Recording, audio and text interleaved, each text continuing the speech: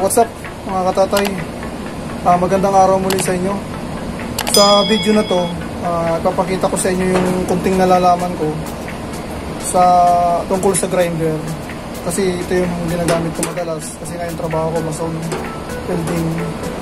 Kaya kahit pa paano may idea kung paano gamitin ito. Ngayon ipapakita ko sa inyo isa-isa kung ano yung mga ginagampanan ng bawat blade na to at kung saan ginagamit para kahit pa paano yung mga baguhan magkaroon ng idea. Doon sa mga kapanood ng aking video, sana makatulong sa inyo ang gagawin ko nito. Lalo doon sa mga baguhan na gustong gumamit ng grinder. Una, siyempre ito yung grinder. Makita siya.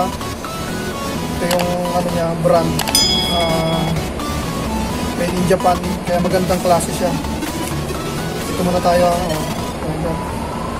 Ang una ko papakita, yung kung paano tatanggalin yung blade niya yung disc. Para matanggal nyo to kailangan hawakan nyo to. I-push. Kapag na-push nyo na yan yan hindi na siya makakagalaw. Kasi pag hindi nyo siya pinush ay ito to. Push nyo para yan. Saka nyo gagamitin yung susi niya yung pang bukas para may kontra. Yan siya. Gano'n na siya kadali pagpalit ito cutting disc wheel pang bakal. Ngayon kung papalitan nyo siya ng talim ito yung gagamitin nyo. Halimbawa pang masonry? Tiles, concrete. Ito yung gagamitin nyo. Ganito lang ang pag pagpalit yan. Ganon din ng proseso. I-push nyo yung button dito sa ano para mailagay nyo yung lock kasi kapag pinush nyo yan, hindi na siya gagalaw kung mo kontra na siya. Pwede nyo itong gamitin yung susi niya, ang lock. Yan. Ganyan siya kasimple. Yan, siyempre kapag naikabit nyo na, sinaksa ko siya para testingin natin. Ito yung on, off.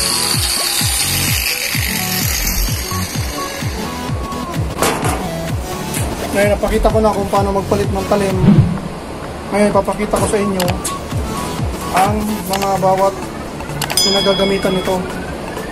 Ito yung cutting disc wheel, yung pamputol sa bakal. 1mm lang yung ano niya, kapal. yung sukat niya. Kung nakikita nyo. Cutting disc wheel sa bakal.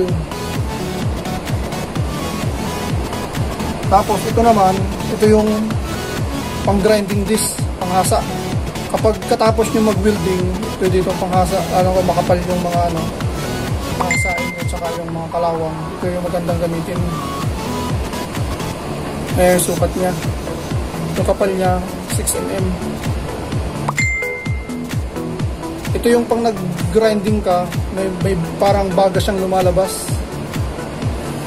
Ganyan.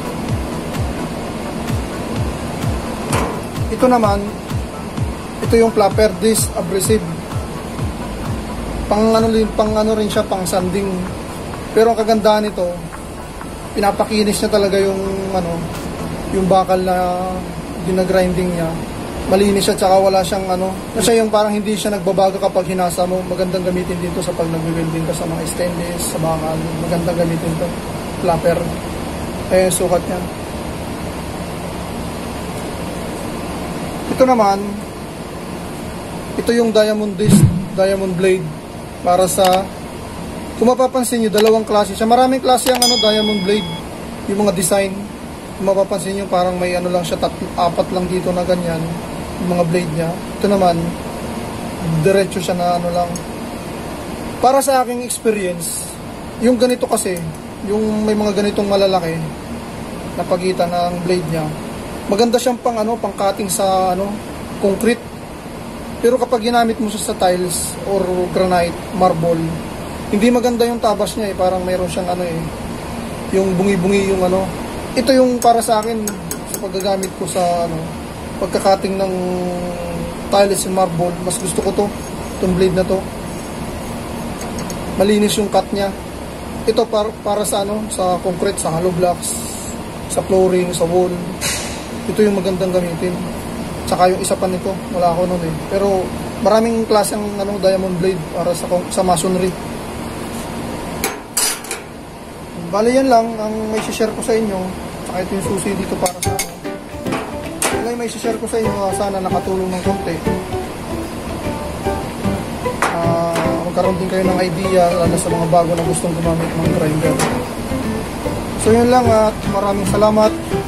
Sana kahit pa paano nakatulong sa inyo ang video na to. At dun sa mga nakapanood sa aking video at sa naligaw, naligaw sa aking channel, i-subscribe na lang at pakiclick na rin yung notification bell para sa mga video na aking may upload ay ma-update kayo. So yun lang at maraming salamat. Sana hindi kayo magsawang manood sa aking video at lagi kayong mag-ingat. Hanggang dito na lang. I'm out.